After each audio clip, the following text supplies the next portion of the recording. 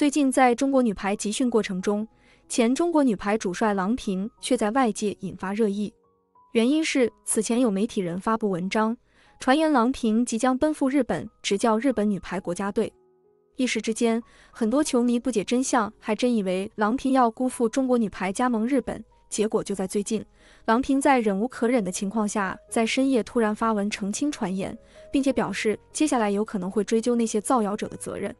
很明显能够看得出来，郎平执教日本女排根本是不可能的事情。只是有的人在故意带节奏，损坏郎平的名义而已。实际上，想要知道郎平真实的想法，不妨回看一下两年前奥运会结束之后，郎平对着媒体许下的承诺。当时，郎平确定将会退休离开中国女排。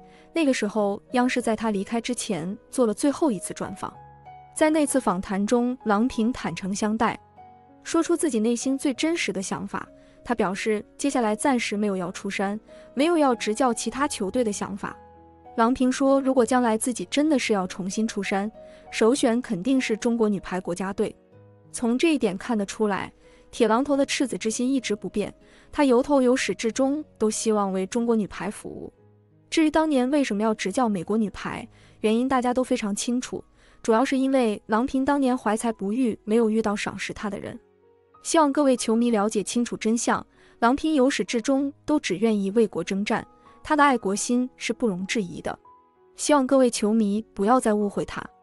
另外一方面，关于郎平接下来的去向问题，在当时郎平宣布退休之后，爱徒朱婷就已经在社交平台平台揭晓了去向。当时朱婷发文说，郎平在辛苦这么多年之后，如今终于可以好好休息，回到家里面陪伴一下家人。